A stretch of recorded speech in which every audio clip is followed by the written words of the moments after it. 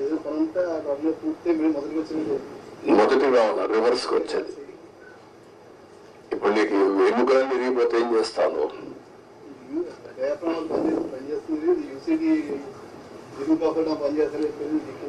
అది లేదు upper coffer dam లేదు లోయర్ కాఫర్ డ్యామ్ లేదు guide bund plus gap one సగం కొట్టుకొని వెళ్ళిపోయింది. ఒకటి కాదు? అస్తవ్యస్తమైన పరిస్థితి.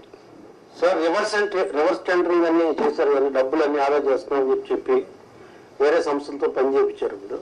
దానివల్ల ఆదాయం ఎంతండి? ఇప్పుడు కథనంగా ఖర్చు అయిపోతుంది ఎంత నేను ఏమంటానంటే ప్రాజెక్టు కొట్టుకొని మనకు రివర్స్ టెంటరింగ్ మీరు అర్థం చేసుకోవాలా?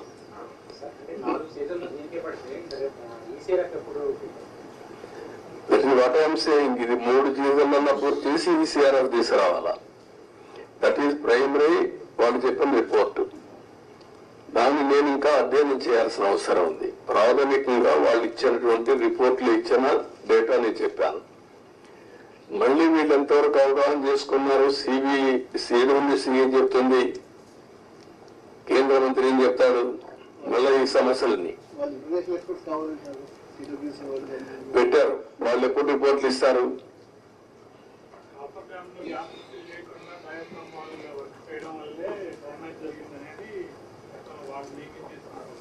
ఆరోపణ కాదు.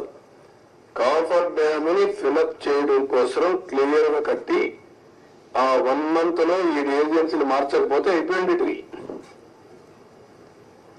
రావడం రావడం సేమ్ డే ఏజెన్సీలు మార్చేశారు. ఆ ఏజెన్సీ రెస్పాన్సిబిలిటీ ఆ సీజన్లో చేసే రెస్పాన్సిబిలిటీ అని చెప్పారు. Government of India secretary letter రాస్తూ పీపీఏ కానీ గవర్నమెంట్ ఆఫ్ ఇండియా కానీ మీరు మార్చొద్దండి. మారిస్తే అకౌంటబిలిటీ ఎవరికి ఫిక్స్ చేయాలో తెలియదు. నవ్ అకౌంటబిలిటీ సర్వీస్ ఎవరైతే కాంట్రాక్టర్ ఉన్నారో కాంట్రాక్టర్ బాధ్యత ఇంజనీర్ల బాధ్యత. మీరు ఇప్పుడు మారిస్తే పాత కాంట్రాక్టర్ పోతాడు కొత్త కాంట్రాక్టర్ వస్తాడు. మధ్యలో ఏదైనా జరిగితే ఎవరైంది చెప్పలేదని మీరు స్టడీ చేసుకోవాలి అది. చాలా స్పష్టంగా చెప్పారు. వెయిట్ చేయండి. టయాఫామ్ వాళ్ళకి ఇప్పుడు నిపుణులు అంతకుముందు వాళ్ళు వేసిన నిపుణులు అది చాలా డ్యామేజ్ అయింది. దానికి ప్రత్యామ్నాయం అన్నారు కదా మీరు అన్నారు. కానీ దాన్ని కూడా ఆపమన్నారని చెప్పి వాళ్ళు రిపోర్ట్ ఇచ్చారండి. ఆపమని కాదు డయాఫోమ్ వాల్ నాలుగు రెక్కలు డ్యామేజ్ అయింది థర్టీ ఫైవ్ పర్సెంట్. నాలుగు రెక్కలు డ్యామేజ్ అయింది దానికి కావాలని బ్యాండేజ్ చేయడం. అంటే రింగ్ బెండ్ మారిగా ఒక రింగ్ వేసి ఇంకో డయాఫామ్ వాల్ దానికే కవర్ చేయడం. అది కవర్ చేసి మిగిలిన రెక్కల డ్యామేజ్ కాదని చెప్పలేదు. దానికి నాలుగు వందల యాభై ఏడు కోట్లు నలభై ఏడు కోట్లు. మొత్తం వేయాలంటే తొమ్మిది వందల తొంభై కోట్లు. దానికి రెండు రెండు సీజన్లు మినిమం. దానికంటే ముందు ఇది కావాలి. కాఫర్ డ్యామ్లో నీళ్ళు లీక్ కాకూడదు. మొత్తం కలిసి they are claiming four seasons. Entire upper coffer dam entire leakage మొత్తం డ్యామేజ్ అయిందని చెప్పేసి నిపుణులు ఎందుకని చెప్పారు వివరాలు ఇప్పుడు ఎప్పుడైతే వాటర్ ఇక్కడ లోపలికి వచ్చి కిందన కాఫర్ డ్యామ్ ఉంది పైన కాఫర్ డ్యామ్ ఉంది నీళ్ళు పోలేవు. సుడిగా సుడిగుండాలుగా మారి సుడిగా తిరిగి ఆ శాండ్ ఒక ఇరవై మీటర్లు ముప్పై మీటర్లు కొట్టేసింది పైకి లేపేసింది.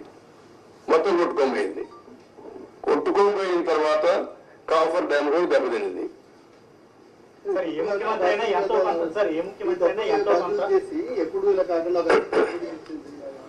అంటే ఏం చేయాలి నేను అడిగేది మిమ్మల్ని అడిగేది అంటే మీరు అందరూ కూడా చర్చ చేయాలి ప్రజలు కూడా చర్చ చేయమని చెప్పాలి సార్ ఏ ముఖ్యమంత్రి అయినా అభివృద్ధిలో ఎంతో కొంత తన మార్పు చూపించాలని చూస్తారు. కానీ ఈ ఐదేళ్ళు జర ఉండిపోవడం వెనకాల అంటే ఏంటి? అనుభవం లేకపోవడం వల్ల జరిగిందా? లేక వేరే ఎజెండా ఉందా? అజెండా కాదు. అజం.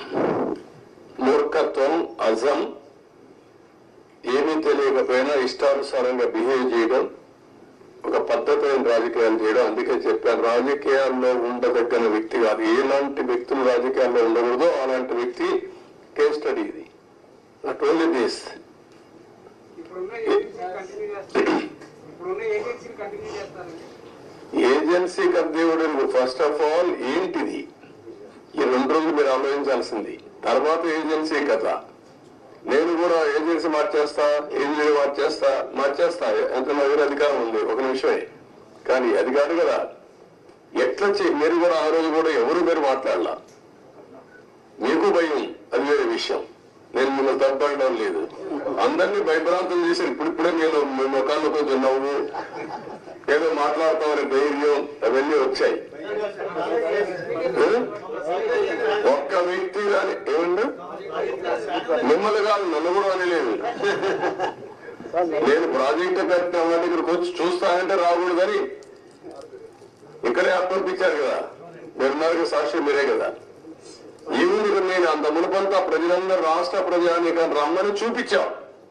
ప్రౌఢ కింద ప్రైవేట్ అది బస్సులు పెట్టి చేయించాం భోజనం పెట్టి చూపించాం. ఎందుకు? ఇది ప్రజల ప్రాజెక్ట్ ఇది. రెండు అప్పుడు వచ్చారు? ఏమని రైనీ సీజన్ మళ్ళీ స్టార్ట్ అవుతుంది. ఫర్దర్ డ్యామేజ్ అవ్వకుండా ప్రివెంటివ్ స్టెప్స్ చేసుకునే అవకాశం ఉందంట ఇప్పుడు అది కూడా చూడాలి. ఎంతవరకు అవకాశం ఉంది? ఇప్పుడు నీళ్ళు రావు. ఫర్దర్ డ్యామేజ్ కావడానికి ఎందుకంటే స్వీపేజ్లో వస్తాయి. ముందు వచ్చినంత ఫోర్స్ మొత్తం నీళ్ళలో వచ్చేసాయి కదా. ఆ నీళ్ళన్నీ వచ్చి డయాఫామ్ వాల్ మీద పడి సుడిగా ఎక్కడికక్కడ కిందన పైన సుడి తిరిగేసి మొత్తం కొట్టేసింది. Sir sir sir.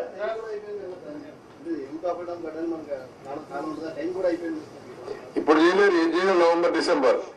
Season is over sir sir రెండు వేల పంతొమ్మిది నుంచి సార్. దగ్గర చేద్దాం? గుడ్ పాయింట్ బాధ్యత ఉండాలి కదా వ్యక్తులకి. ఉండాలి. అదే దాని మీద డిబేట్ చేయమన్నా ప్రజల్ని. సార్ సీఎం గారు. సీఎం గారు గత ప్రభుత్వంలో ముఖ్యమంత్రి గారు ఒక రకంగాను ఒక మంత్రి గారు ఒక రకంగాను ఇంకో మంత్రి ఏమో వ్యంగ్యంగాను పోలవరం దీని గురించి ఇది చేశారు. మనకి దానికి డిఫరెన్స్గా ఏం చేయబోతుంది అంటే ఇప్పుడు ఏం చేయాలని నేను అడుగుతాను మిమ్మల్ని. నేనేం చేయాలని నేను కూడా ఇంకా అధ్యయనం చేస్తున్నా. ఈ రోజు ఒక మాట చెప్పి రేపు ఒక మాట చెప్పి డయాఫాల్ అంటే అది ఎక్కడ కనపడలేదు నాకంటే. అలాంటి మంత్రులు చూసాం డయాఫాల్ వరకు కనపడలేదు మంత్రి.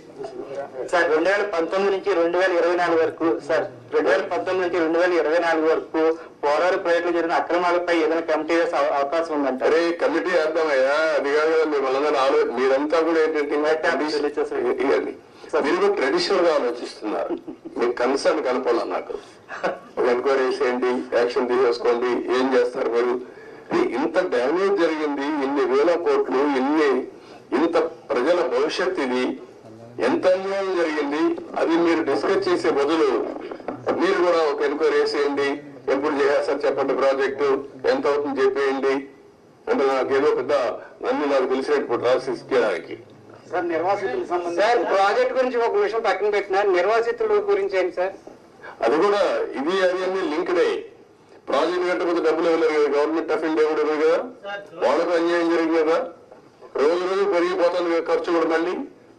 ఇప్పుడు వాళ్ళకి అప్పుడే కానీ ఇచ్చుంటే తక్కువ అమౌంట్ అయ్యేది. రోజు రోజు అమౌంట్ పెరిగింది. ఆర్ అండ్ ఆర్ పెరుగుతా ఉంది. ల్యాండ్ ఎక్విషన్ పెరుగుతా ఉంది. వెరీ కాంప్లికేట్ చేసేసారంటాను ప్రాజెక్ట్ని. Sir one question one minute 10,000 crores from the center, you, to be having good relations with the Prime Minister. Are you going to have any influence with the Prime Minister to get the 10,000 crores for the Polvaram project? అయిపోతుంది అడిగి పన్నెండు వేల కోట్లు నీకు ఇస్తాను మీరు చేసేస్తారా. What I'm asking you are you able to study the project first of all ఇక్కడ ప్రెస్ కూడా మీరు గుర్తుపెట్టుకోవాల్సింది హాఫ్ హ్యాండెడ్గా హాఫ్ హార్టెడ్గా కాకుండా కొంచెం స్టడీ చేసి కన్స్ట్రక్టివ్గా పాజిటివ్గా సజెషన్స్ ఇవ్వండి ప్రాజెక్ట్ కంప్లీట్ చేయాలి. నష్టం చేసిన వ్యక్తులపై చర్యలు తీసుకోవాలి. At the end of the day రాష్ట్ర భవిష్యత్తు నేషనల్ ఇంట్రెస్ట్ కూడా కాపాడుకోవాలి. సార్ వన్ క్వశ్చన్ సార్ ఇప్పుడు four forty one crores nine ninety crores రెండు ఆప్షన్స్ చెప్పారు. వాటికి సెంట్రల్ గవర్నమెంట్ నుంచి అసిస్టెన్స్ వచ్చే అవకాశం ఉందండి? వాట్ ఐఎమ్ సేయింగ్ ఇంత డ్యామేజ్ వాళ్ళు ఏ ఏమి చెప్పారు ఏం చెప్తారు ఇంతవరకు మాట్లాడలే కదా? నేను సీఎంఏ మొన్నే ఫస్ట్ విజిట్ వచ్చాను. అర్థమైన కూడా అర్థం చేసుకున్నాను ఇప్పుడు వాళ్ళతో మాట్లాడాలి. మాట్లాడి దీన్ని ఏ విధంగా ఫైనలైజ్ చేయాలి? ఆకుండా మంత్రిగా మారాడు. లాస్ట్ టైం ఉన్న మంత్రి ఇప్పుడు లేడు. ఇదంతా కొత్త. కాస్త కూర్చో అందరికి మధ్య నేను ఒకరిగా సబ్జెక్ట్ ఉన్నామంతే ముందు ప్రారంభించి ఇప్పుడు మూ- నాలుగో మంత్రి కేంద్రంలో.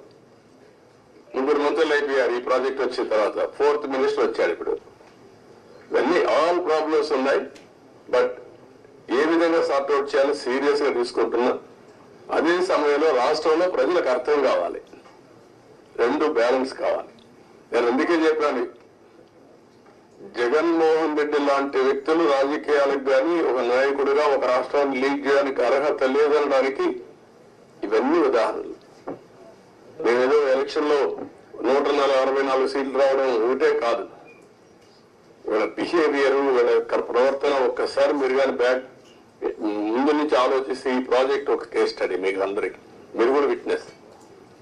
కనీసం ఇక్కడికి వచ్చి ఎప్పుడైనా ఈ ఐదేళ్ళలో ఒక్కరోజైనా పుస్తకాలు పెట్టా? ఈ ప్రాజెక్ట్ ఏం చేశారు చెప్పారా? ఎక్కడా లేదు. ఆంధ్ర అక్కడ పెట్టలేదు ఇక్కడ పెట్టలేదు. ఎక్కడా లేదు.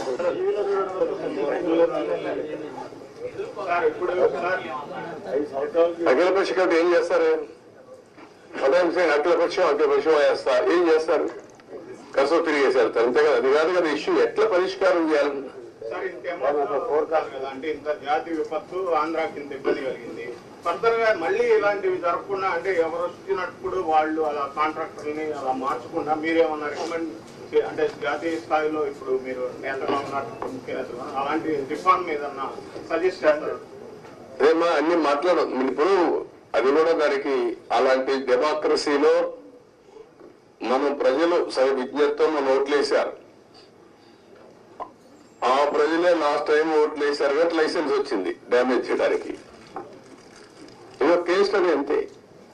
గవర్నమెంట్ ఆఫ్ ఇండియా చట్టాలు తేవడం ఉంది అన్ని రాష్ట్రాలు తేలేరు కదా. ఒక రాష్ట్ర ప్రభుత్వం కేంద్ర ప్రభుత్వం. తప్పు చేసిన పనిష్ చేయాలి. ఎవరు పనిష్ చేయాలి? ప్రజలు పనిష్ చేశారు.